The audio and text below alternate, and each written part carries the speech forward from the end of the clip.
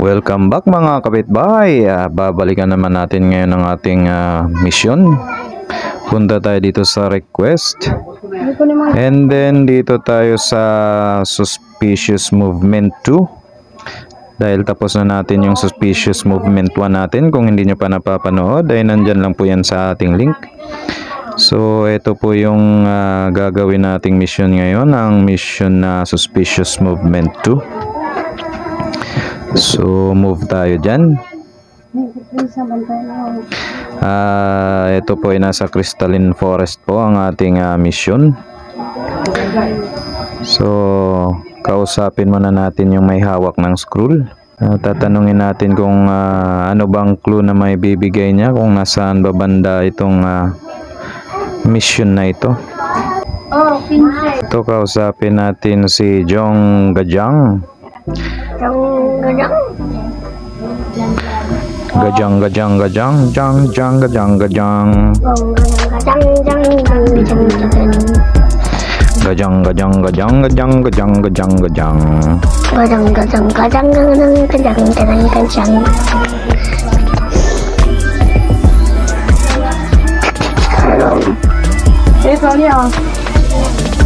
gadang,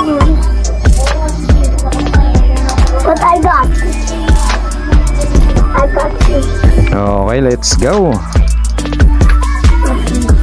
Bilisan natin ang ating takbo para mas mabilis tayong matapos nitong mission natin.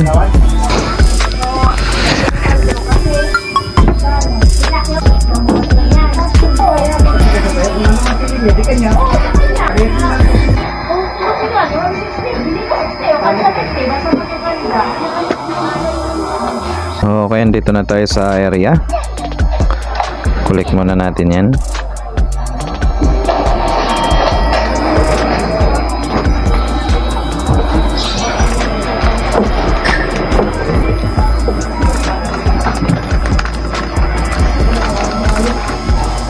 Ito lang siya guys. So nakita kaagad natin siya doon sa taas. Okay. Ang gagawin na lang natin ay maghahanap tayo ng entry kung paano tayo makakaakyat dyan. Oops. Yun. Uy, nalaglag siya.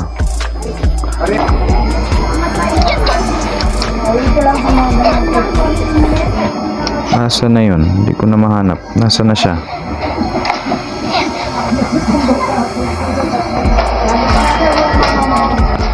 Nasa na siya? Oops, andun lang siya. Talon. Oops, di abot ah.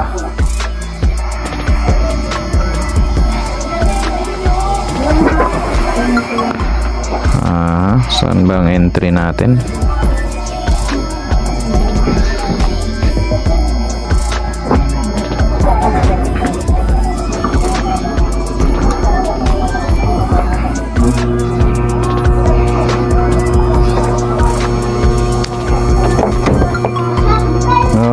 Let's jump. Dito tayo aakyat guys. So, try nating umakyat dito sa area na to. Okay, talon. Talon. Okay. So, op. Uy, nangyari dun. So, ito po siya. Yung location po niya. Nandun sa tuktok. Ang gagawin natin, tatalon tayo rito. Isa, dalawa. Op, di kaya. Balik, balik, balik. Isa pa. Try natin uli. Kuha tayong buwelo.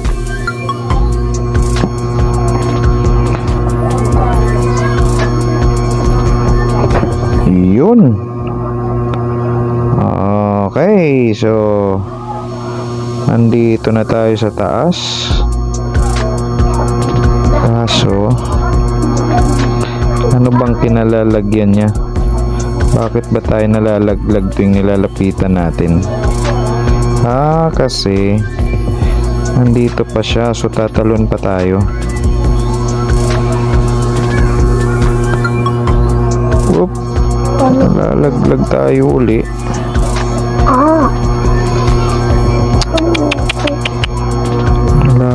Lalaglag tayo uli.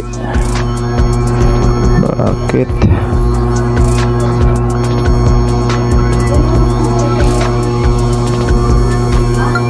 Doon kaya tayo sa kabila.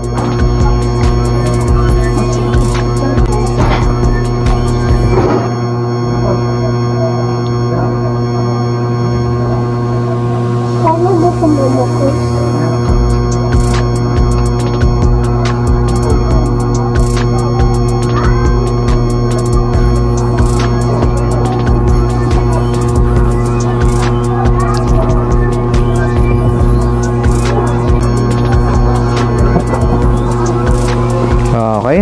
Nakuha din natin siya. So, ganun lang guys. So, ito po yung suspicious movement number 2 dun sa Crystalline Forest. Collect the green moss herb. So, hanggang dito na lang muna ang ating video mga kapitbahay. Kung hindi ka pa nakapag-subscribe, ay mag-subscribe ka muna. At maraming maraming salamat.